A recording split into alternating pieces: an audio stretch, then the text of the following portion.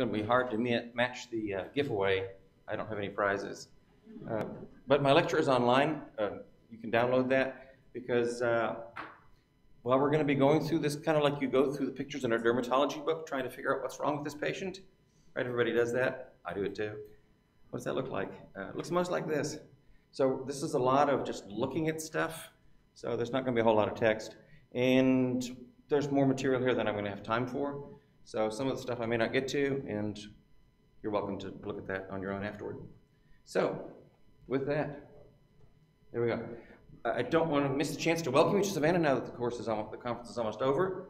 Uh, Savannah is the first capital of Georgia and the first city of Georgia, and also the home of the Girl Scouts of America. So there's your pieces of trivia you can share with, at your next cocktail party. okay, with that then, let's go. I'm not going to spend a lot of time on the eye. I have this there as a reference for you so you can go back to it later on. It's like, what was that part that he was talking about? Because it's going to take too long and there's lots more eyeball pictures and anatomy pictures on the internet.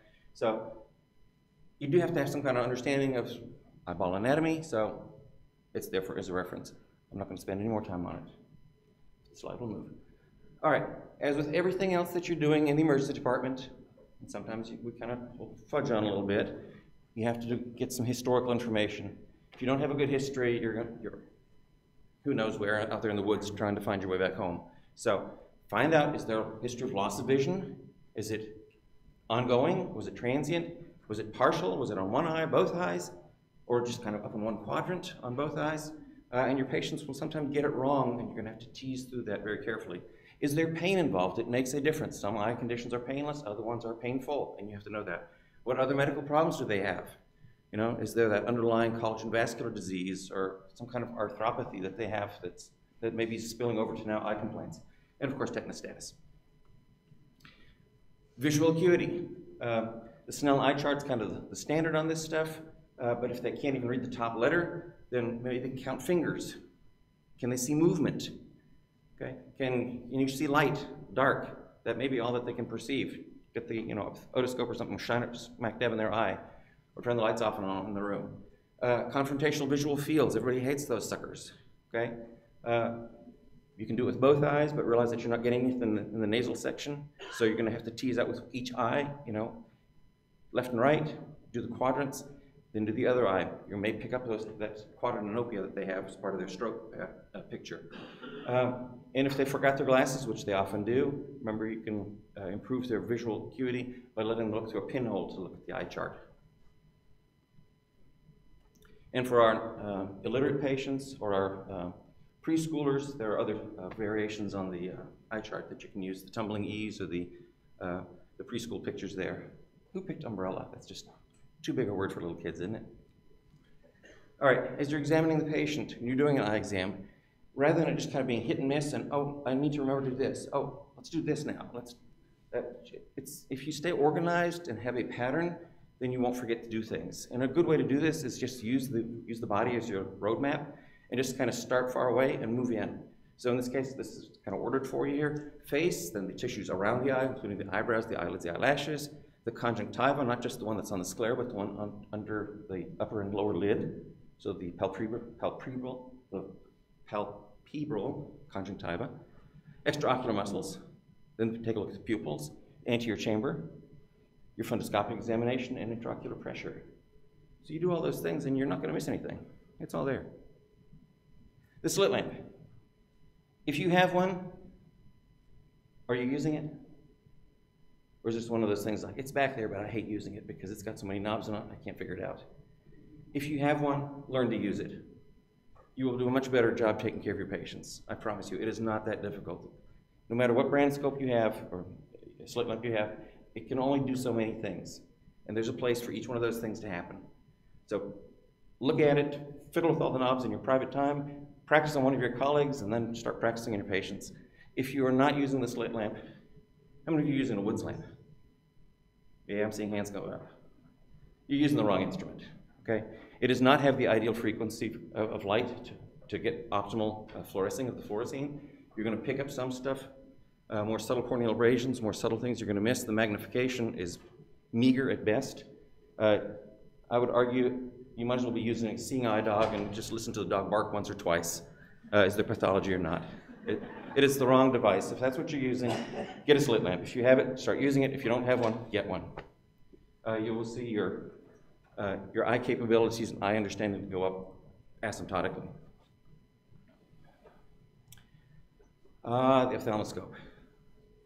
I know how much of my medical students and my residents hate that sucker. I've got one of my physical diagnosis students here. She knows how much I beat up on them to make sure that they start learning how to use this thing properly. You got to learn how to use it. If you have trouble with it, if you're bad at it, I tell you what, if you don't practice, you're not going to get any better. So get it down. Every patient that you have has two eyeballs. Even if they're there with an ankle complaint, if you ask them, Would you mind if I take a look at your eyes? 99% of the patients say, Sure, doc. Is it important? No, I just want to just, just take a look, just like I'm listening to your heart. Let me just practice looking at your eyeballs here. You're going to have to tell them the practice part. Okay? The more you do it, the better you get. That's all I can say. Uh, if you have the fancy panoptic, fine. Uh, makes it easier.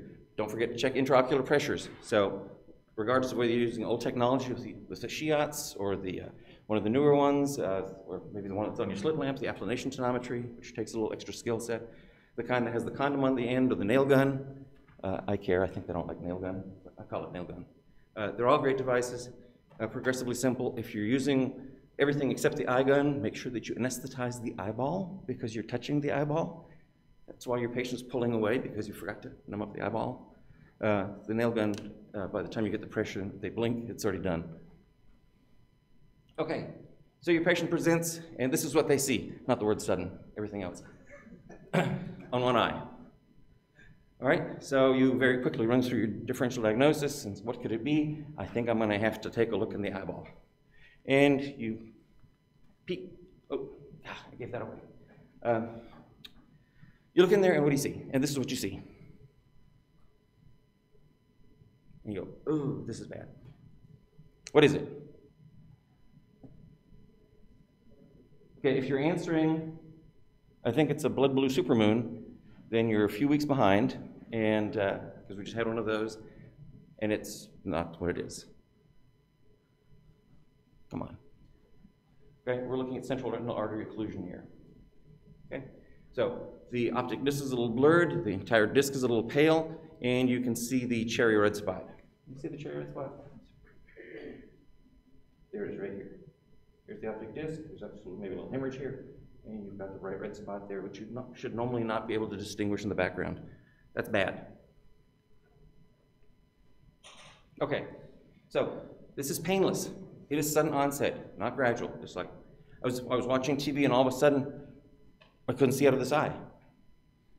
Okay? It's a monocular blindness. Uh, if you do uh, checking pupillary responses, you will find that there's an afferent pupillary defect because they have lost vision. Okay?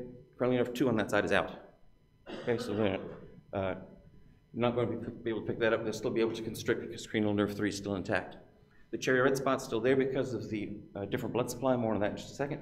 Uh, if you look really hard, you may see some boxcarring. I'll show you a picture of that in a second. Okay, so what you need to do here is lower intraocular pressure, some gentle massage, gentle, not just super duper light, but firm, but not enough to immediately rip off the, the retina. You don't want to go that hog wild on it. But by the same token, it needs to be aggressive enough because they're losing their vision right now in front of you.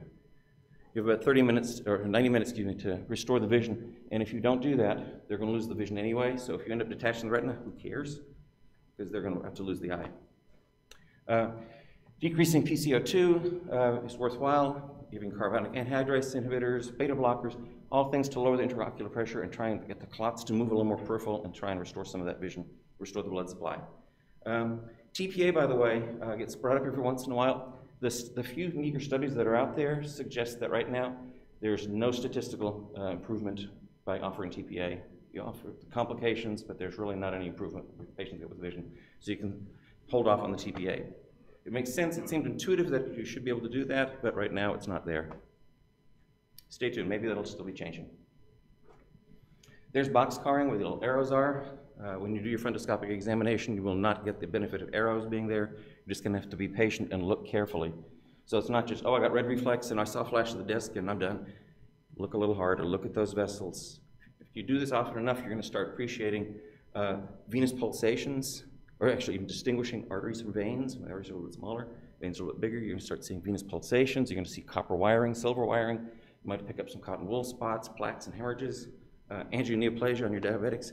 There's so much good stuff to see, but you have to get the fundoscope, uh, off the wall and take a look in the eyeball. Okay, there's a normal versus a central retinal artery occlusion side by side. All right, next. Oh, quiz. What's the first branch off the internal carotid artery? I'll pimp you like back in medical school.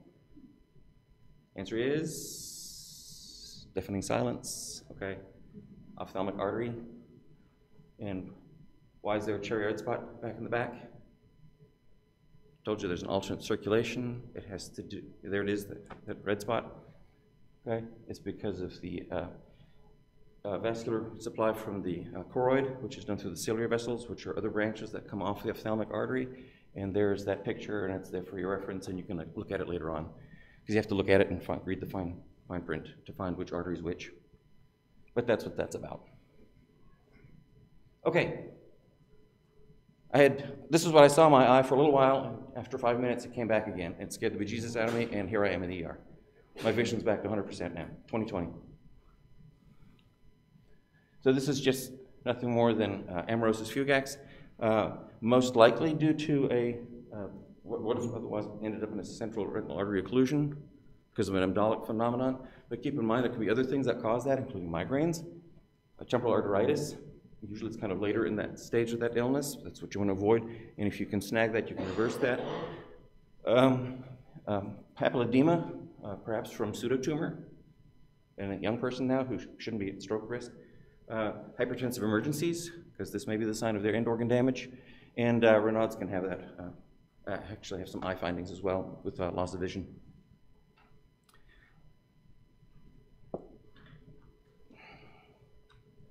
Let's get past this. You can look at these things on your leisure, but just kind of keep in mind temporal arteritis when you have those patients, those elderly patients with bad headache, maybe a little blurring of their vision. It's kind of sore here. It hurts when they chew. Uh, and again, you have to pick up the uh, ophthalmoscope to be able to pick up papilledema, because that may be what tips you off to decide, gee, I do need to do a, a lumbar puncture on this lady and check her uh, uh, pre opening pressures, and maybe let off a little fluid and see if her headache doesn't go away uh, and before she loses her vision. So uh, you can use ultrasound to diagnose papilledema. Some folks are finding that easier to use than the ophthalmoscope. Fine, go for it. I'm not going to go there right now. And yeah. All right, I had this gradual um, dimming of my vision over the last few hours, and this is what I see now. Hmm, it doesn't hurt. Okay, this is going to be central retinal vein occlusion. So it's typically associated with very high blood pressures, uh, maybe related to those arteries as they're crossing veins and cutting off the blood supply, but you're basically going to back up the blood in those veins, there's going to be uh, transient that's leaking exudate across the, uh, the uh, venous membranes. So you're going to see retinal hemorrhages, cotton wool spots, edema, uh, and the classic description is blood and thunder. So there's normal and blood and thunder side by side. I don't know who makes up these names. A few beers on board. there's another example, blood and thunder. Okay? Yeah, I've seen one. It was actually in a developing country. Okay. Did I just go through past two slides? I did. So, oh well, well, there it is. Retinal attachment is next. So it's going to be with some loss of vision or distortion of vision. Uh, if you're lucky, you may be able to peek in there. If it's a really big peel off, then you can actually see the retina as it's bowing out uh, into the uh, ocular cavity.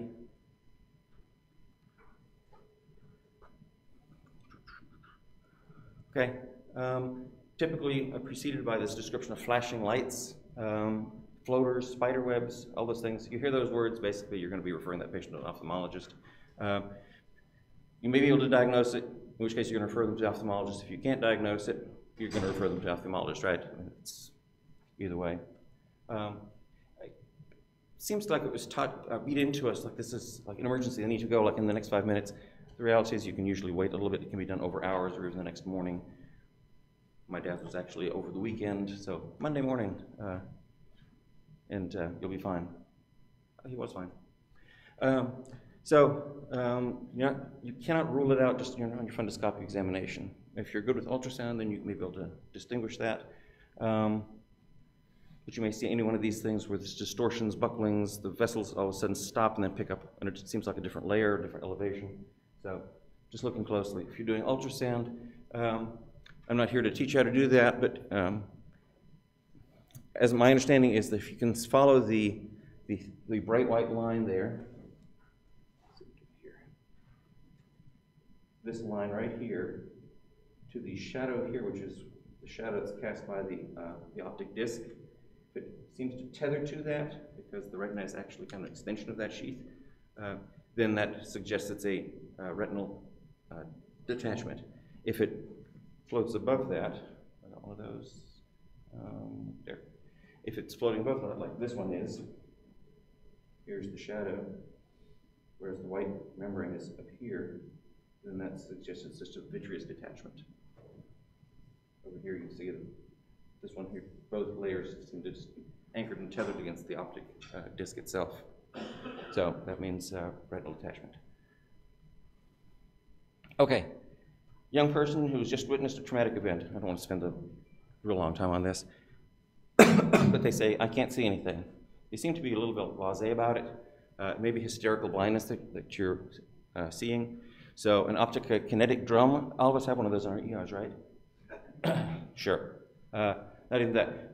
I'll show you a trick around that though. Uh, but you spin that thing, because remember those rudimentary mechanisms, we automatically track motion. If you do that, you're immediately going to see them uh, develop, have nystagmus. So if you just flash something in front of them, and a piece of EKG rhythm strip that you have, usually have miles of that nobody looks at, that are shooting out of the monitor, right? Y'all know what I'm talking about. Just grab, you know, a length of that, hold it firmly in one hand, and the other one put it between your two fingers, and then just kind of slide it in front of the patient, just okay, just horizontally, and you will see them. If you see them just kind of having this nystagmus, like the picture here in our little video, uh, they're obviously seeing it, they're tracking it, and picking up on it, and responding with a uh, a motor response. Their vision is intact. This is hysterical blindness. Okay? Then you see psychiatrist, not an ophthalmologist. EKG paper has other uses. Okay, uh, gradual decrease in vision. It's just kind of gray. Kind of came on over days, maybe even weeks. Okay, so here we're talking about optic neuritis. Uh, so it's inflammation of the optic nerve. Uh, so long course, generally painless. Uh, they may have some pupillary abnormality, uh, response abnormalities. And one of the, hallmarks of this is they lose their color vision. So if you take a look, you may see papilledema from the inflammatory response, and this is what they're going to describe you. My vision's a little blurry and just kind of, I lost the color in my vision, as opposed to being able to see sharp and those colorful details. So this is MS, or MS. It might be MS. Multiple sclerosis might be an option. Think about MS. Uh, MS is yet another consideration. Then there's kind of a long list of, then there's kind of blank space. There's nothing, and then there's MS three more times. Okay? Get them to the ophthalmologist. Uh, they'll be treating them with steroids. Um, and maybe some uh, corrective uh, prismatic lenses to, or, or, sheets to put in their glasses to correct some of their uh, double vision. Okay, this one is uh, gradual loss of vision. There's pain and the eye is red. Ask a little bit more, and as you're looking at your patient, doorway diagnosis kind of thing, it's just on one eye. I was at a movie theater and it got dark, and then as the movie was going along, I was like, man, my eye's starting to hurt. I'm getting this headache, it's really bad. Um, and this is, bum, bum, bum, acute angle closure glaucoma. So um, there it is. Your, your, pressures are typically in the order of about uh, 50 um, millimeters of mercury. So much higher than the normal kind of range. Uh, you start getting that 25 range. It's kind of sus kind of suspicious, but 50 is a slam dunk. Uh, it's the hot, steamy cornea that you're going to see. Uh, erythema around that from the conjunctiva. Pupil may be small, not quite as reactive as the other side, and it all has to do with the plugging of the Schlemm's canals, and I'm not going to delve into that right now but basically the normal aqueous flow is being impeded and pressure is backing up in the, uh, in the eyeball. So there it is again. As we move on. Oh, one more thing. Uh, if you're really slick, if you bring in a light source from way over laterally and shine it across, then you may actually see the, um, the iris look a little bit like a somewhat shallow volcano. It's- Instead of the iris being flat like it's supposed to be, it bulges forward. And you'll, if you shine a light from the side, then you cast a shadow on the backside, and that shadow is seen there, and it's diagrammed as that little shaded area on the picture. That's what you're looking for, is that, that shadow being cast. That'll be your first test even before you get out your tonometer. Okay, and the treatment of, uh, for glaucoma, and I've got it here for your reference, in a cookbook kind of thing, but the basis is decrease the amount of fluid production and increase the outflow. And that's what all the different drops and um, IV medication that you're going to give these patients, that's what that's all about. Okay, decrease production, increase outflow. Get that intraocular pressure down. Okay, and at some point, then the eye doctor may have to pop some holes into the uh, iris to give the fluid a different way to escape. So it's there uh, over several slides, uh, just boom, boom, boom. This is what you give, this is what you do, okay? And then you're, at some point, your ophthalmologist will answer the phone call late at night, because that's when these always happen, it seems like. Uh, and it's like, oh yeah, good idea, yeah, that's, that's good. Now maybe hold off on that, I'll come in, I'll, I'll I'll take a look. Okay, there's the last of the drops. All right, what's wrong with this? Painful red eye. I give very short histories. It's almost like the uh, national boards. Painful eye, the diagnosis is? If you look close, that one on the, uh, on the right looks like it's got a little white stuff at the bottom.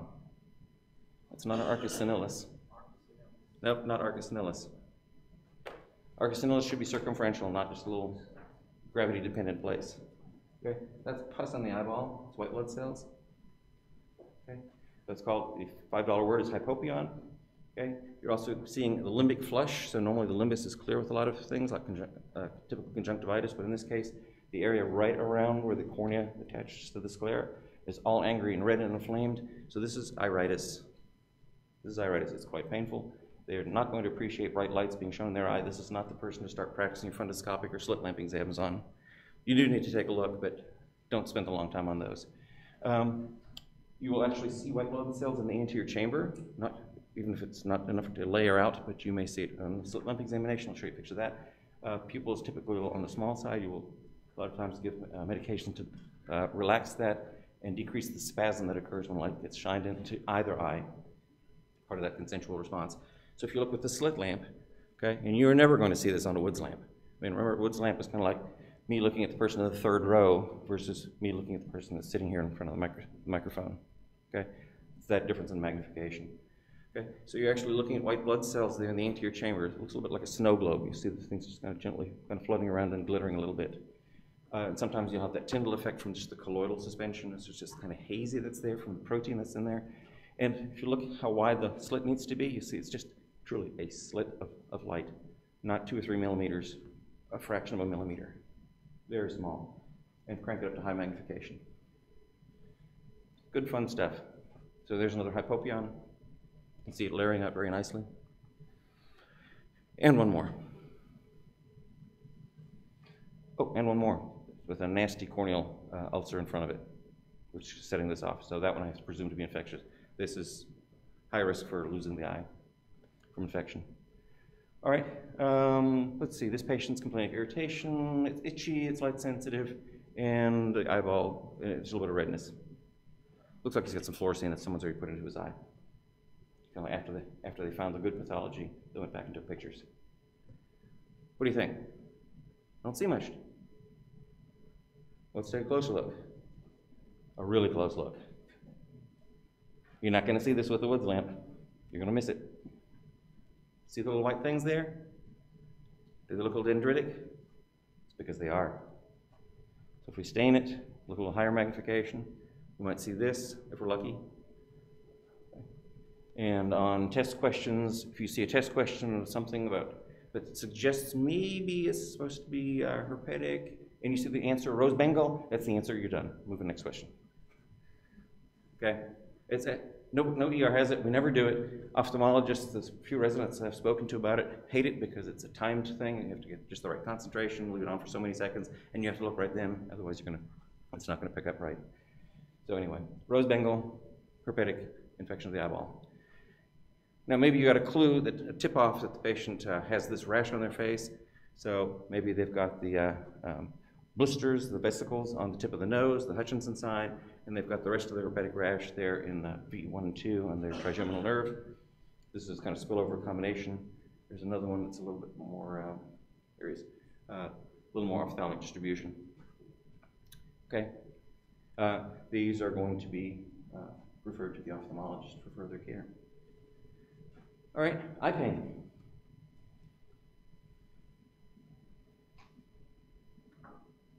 This patient's been stained with fluorescein. Look for the fluorescein. And it's just a simple corneal abrasion. That's all there is to it. Now, maybe it's a little bit, uh, be a little more involved, perhaps from a, with a burn uh, from an airbag deployment. Uh, as the powder, or the powder gets up and it's still uh, on fire uh, or combusting, uh, and hits the eye, so you'll get some pretty nasty injuries from uh, airbags. Let's not spend any time on uh, corneal abrasions. You know how to manage those. But beware of the uh, of ice skaters lesions. Everyone's heard of those. Here's a picture of them. They really do exist. Okay? How about this innocuous little white spot there on the cornea? It's been hurting for a couple of days. It's getting worse. And I wear contact lenses. Oh, history. It's all in the history. So, um, watch out for those pseudomonas infections. Those get referred to the eye doctors, okay, uh, promptly. Uh, they'll have some concoction of stuff that includes anti-pseudomonal uh, stuff, and they'll be watching them, seeing them back in their eye clinic every day until that gets under control. Uh, acid burns and lye burns, the big thing here is uh, copious irrigation, copious irrigations. You're not going to put in neutralizing things. Lye injuries, just like on skin, are going to be worse than acid injuries because of the liquefaction necrosis rather than coagulation necrosis and bur burrowing down. So some of these folks, uh, especially the lye injuries, may have to be admitted and irrigated for 24 hours. You may end up having to use the Morgan lenses, realize that those are uncomfortable. You can put tetracaine in, and you're going to wash the tetracaine out within a few minutes of irrigation, which means you're doing a good job irrigating, but your patient's not going to be very happy with you. Sequelae of lye injuries can be very bad. Like this person has just formed horrible uh, um. Uh, so the eyeball's still good, but they can't see because they have all, all this other scar tissue that's layered down on top of that as part of the healing process. Morgan lenses, you're familiar with those. Uh, chemosis, just another chemical allergic reaction, uh, very alarming looking uh, because the uh, conjunctiva is just puffed up, sometimes to the point where the patient can't even close their eyelids because the conjunctiva sticks out. So um, very disturbing. It's going to be antihistamines, uh, topical antihistamines, uh, and reassurance, and you know, irrigating whatever's out. Again, history, what you get exposed to? So, chemosis. Um, starting to spill over time, or get close to my time. Um, eye pain, boring eye pain with these really enlarged vessels on there. Think, be thinking about some kind of episcleritis, or if it's deeper vessels, uh, outright scleritis. It's just this horrible, deep, boring pain and these incredibly injected vessels on the eyeball. Um, so uh, those are basically sentinel hallmarks that there's an underlying um, uh, collagen vascular disease uh, that may not be diagnosed yet on this patient. Steroids, uh, consulting the ophthalmologist, uh, and rheumatologic referral for these folks. So scleritis, episcleritis, things to be thinking about. Um, other things in the, uh, the lacrimal system, you can get uh, abscesses that form here along the nose. Um, uh, they can be start out just with a cyst because of an obstruction and then move on to abscess formation on the face. Uh, like this one here, looks like it's actually starting to drain spontaneously. And this can move on, if not treated, to a preseptal or even uh, orbital cellulitis. So you need to catch, catch these things and treat those aggressively. Uh, can also be an infection that's up in the lacrimal gland itself. So sometimes you have a patient who has a particularly large gland, you have to pull up the eye and you see something sticking up there in the outer upper quadrant uh, under the lid. Uh, don't start INDing that right off the bat. That might be their lacrimal gland, and they're not going to appreciate you taking the ability to make tears. But they can get infected, and this is a person at high risk for moving on to uh, septal, uh, preseptal and septal cellulitis. Chronic things, chalazions, those are the ones that are there, they don't bother anything, it's just kind of incidental findings, or someone, you know, my family member told me I should probably see, make sure it's not cancer. Uh, squamous cell cancer can present like that, it's going to be history, referral to the ophthalmologist, and they can decide if they want to do anything else with it. As opposed to the styes, those are infections. Uh, I've got here the Zeis and Muller glands mentioned. There's a uh, piece of anatomy that shows you where those little, little ducts in their glands are. Uh, by and large, the ones that are internal, you can lance on the inside. You can get an 18 gauge needle and flip the top off and then treat them with antibiotics uh, and do the continued warm compresses uh, and uh, yeah, topical antibiotics. And then other ones to the outside that usually need heat and it'll, it'll either resolve or open up.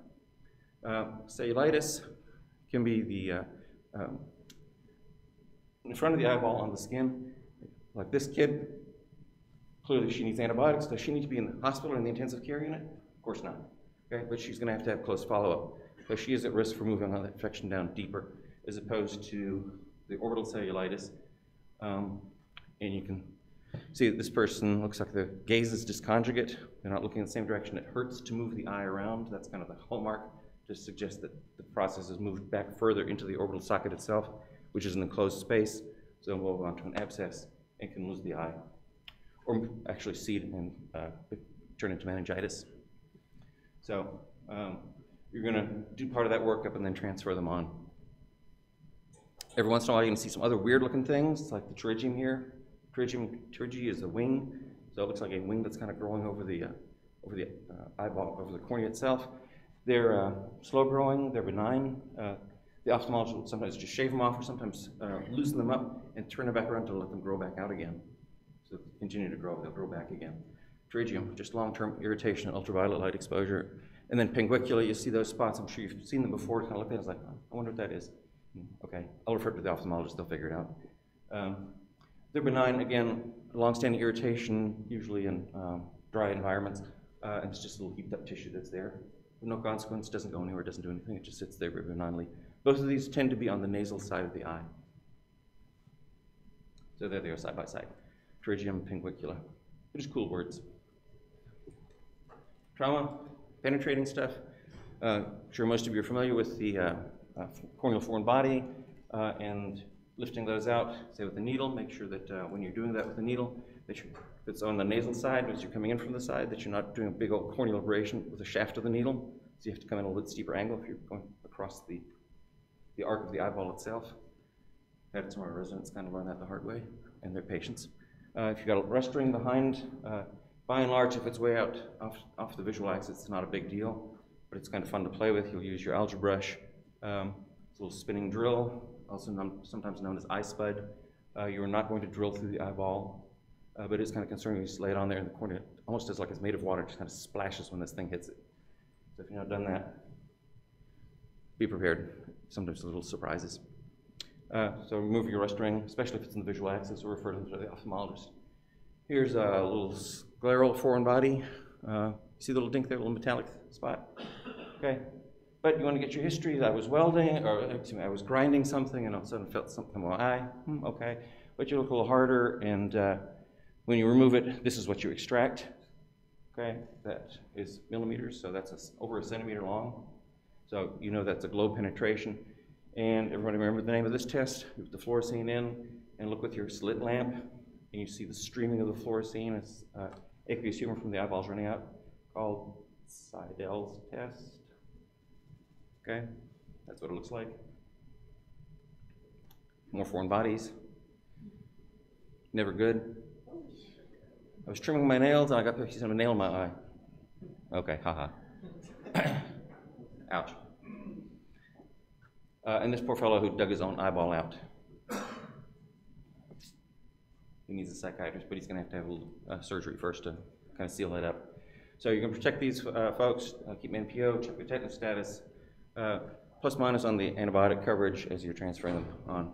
Lid lacerations, the eyelids do not have fat. So if you see fat protruding, that, that is a deeper uh, orbital penetration. Okay? So lid lacerations, you sit down, it's like, oh, you know, busy, the ear's not busy, I can sit down, I can sew that up. Realize that if this is not perfect, then it's going to be like the old windshield wiper that you have a new windshield that doesn't that doesn't smooth away the water very neatly and leaves a streak across your windshield which irritates the crap out of you and invariably is right down your line of vision as you're trying to drive. Everybody familiar with that, right? Okay, it's going to be the same thing. This has to be perfect. Okay, there's no room for error on this. So um, there's an example. the eye surgeons will actually take their very fine uh, sutures and pass through the openings of some of these glands to keep from causing more trauma, to try and pull this back together again and get it all lined up perfectly. Okay? So you're not going to be able to do that with your glasses or your Woods lamp, okay? Or even with your slit lamp. This someone's going to sit down with vessel loops and take all the time in the world to make sure this is done correctly. Okay? And anything that's on the medial aspect of the eyelids toward the nose, remember what's there? Your whole lacrimal drainage system. So remember the puncta and the canalicula, okay? That's all sitting there, and those sometimes the eye surgeon's gonna have to put uh, silastic stents into to keep them from scarring down. Because otherwise, the patient's not gonna be able to remove tears properly from their eye, which are being produced constantly, and they'll be running down their cheek for the rest of their life. Kind of bad. So don't want to miss those things. Medial lacerations, bad. Blunt trauma is the last section. Blast through this real fast. Uh, maybe as simple as uh, subconjunctival uh, hematomas. They always look alarming. People come in with them. They're scary looking. Uh, we have to just reassure them they're fine, they'll go away. Uh, make sure they're not anticoagulants uh, causing the problems. Um, so if it's just under the conjunctiva, no problem. Okay, uh, some, someone gets a little pop to the eye, an eyeball, uh, a baseball, or something else. Hmm, that's fine. You see this kind of doorway diagnosis. You can see this blood that's there in the anterior chamber. Hyphema, which is a little closer. There you see it layering out just like the hypopyon, except this is red cells instead of white cells. Uh, big things here are if it's a significant amount of blood that's in there, uh, they can go on uh, and form scar tissue from that, end up with glaucoma. Uh, a bit higher risk for uh, lens opacification uh, within a few months, just cataract formation. And um, uh, when they're standing up, it'll layer it very nicely. If they're laying down, like our, a lot of our trauma patients are, it's just going to, you know, find that horizontal plane. So you may not see it as well. So here, for example, a significant amount of blood that's there, but you don't see it layering because the patient's laying flat. Another one. Um, uh, that's my son. Uh, and then the eight ball hyphema. Okay, there's so much blood in the anterior chamber that you can't make out any structures in there at all. These have to go to the operating room. They have to be drained, and they're at high risk still for uh, long-term problems that I already described. So hyphemas. Uh, globe ruptures, uh, the teardrop pupil, especially with the iris that's prolapsed out right along the edge of the uh, cornea insertion. So the teardrop points to where the globe rupture is. So you can see that's not, not round. So uh, a lot of times there's a hyphema with that. Here's another example with the iris just prolapsed out of the uh, edge of the cornea. Um, two more examples, those pictures that I took. Uh, lens dislocations, sometimes the lens will get knocked out, uh, maybe sitting anterior, maybe sitting posterior. It freaked me out. One with the lens knocked out, it was posterior. I couldn't figure it out why everything was up nice and close when I looked in one eye, and the other eye, which was the affected eye, it looked like the like the uh, the fundus, uh, the entire retina everything looked like it was just ridiculously far away, like I was looking with looking at it with a panoptic scope because there wasn't a lens in the present. When I him to the ophthalmologist, like, what in the heck am I looking at? It's like, well, his lens is out, and it's laying in the bottom of his eyeball. That's where I found it. Oh, okay, I don't feel so bad. So lens dislocations. They happen. Okay, that's a good parlor trick, but it doesn't want to be you. So another blunt injury to the eye with the orbital blowout fracture. So thank goodness for the two dudes who jump patients and do all kinds of other things to keep us in business. So not going to be able to look up with the affected eye because of the uh, um, inferior rectus muscle entrapment. But not everyone that has a blowout fracture has entrapment. That's going to be the differentiation of do they need to see the eye doctor right now, or can they wait a day or two uh, and let things subside? Um, they may complain of diplopia, uh, other places that you can blow out. Uh, remember that your inferior orbital nerve may also be affected with this if they have loss of sensation across the, uh, um, that part of the cheek and down to the lip. If you're doing old-fashioned uh, x-rays, uh, then Waters view is the way to do that. Hey folks, you're still old enough to remember Waters view and all that good stuff? Am I the older one? Okay, I feel old. so, which is the affected eye? The one on the right or the one on, on the left? The patient's right or the patient's left? Patient's left, because he can't tip it up. Right? The other one goes up, this one does not, it stays stuck. Okay? And uh, last thing, yeah, I should have hammered through these slides. Uh, blow to the eye, uh, one of these was a cane. Someone, one little old lady uh, whacked another one in the face with her cane. I'm sure it was over some big bargain at the, at the big, big box store. Um, and she's now losing her vision on that side. CT scan shows that she's actually got a uh, hematoma that's starting to form back behind the eyeball. Uh, she's now developed basically a compartment syndrome. Her eyeball is being pushed forward. Um, there's actually, if you take a look at the guy that we're looking down the length of his face, you can see one, one orbit, the eyeball's sticking way forward, the other one's uh, way back, and there's outright uh, proptosis of the eyeball over the lids. So these are uh, emergencies. Uh, you have to um, handle that. So fine, decrease intraocular pressure, but what they really need is the bottom line there, lateral canthotomy. Uh, this is very easily done. Uh, take your hemostat, actually numb it up the corner of the eye a little bit, get a hemostat, crush the tissue, kind of like if you ever did circumcisions using the, uh, one of the techniques. You do a little crush to exsanguinate the tissue and basically make it so that blood can't flow back into it. You leave that on for about a minute, take it back off, get your scissors, your iris scissors, cut right through that crushed tissue till you hit bone, and then there's another ligament between the bone and the eyeball, and you get that ligament, because that's going to free that up. Okay? This is not difficult to do. Just keep the points of your scissors away from the eyeball. I mean, there's lots of room there, you'd be surprised. Uh, it's not that big a deal. Uh, and you're going to, if, if they haven't lost vision yet, uh, you may be able to save their vision. Okay, this is not something that's like, well, Tim and Hall, think about it, um, you know, uh, and then an hour later come back with, I think we've decided to do this. This needs to be kind of like right now. Uh, we did one, um, where it is again, uh, on this kid who took a shotgun blast to the face. Uh, we weren't sure yet even if he, you know, how many pellets might have penetrated his eye. He hit the trauma bed, uh, was intubated, and the next thing is like, let's go and do lateral canthotomies right now while we're waiting on CT scan. Okay. Uh, he would lose his vision because he had too many globe uh, perforations anyway, but it wasn't because we did not do the right procedure. And my residents appreciated it because they've got two eyeballs. So uh, he had other uh, parenchymal bleeds and subdural hematomas. So, okay, we're at the end of my lecture. If you ever wondered what what do bugs see, I'm not exactly sure, but hopefully this is kind of one of the last things that they see, and I will stop. Any questions? Thank you very much.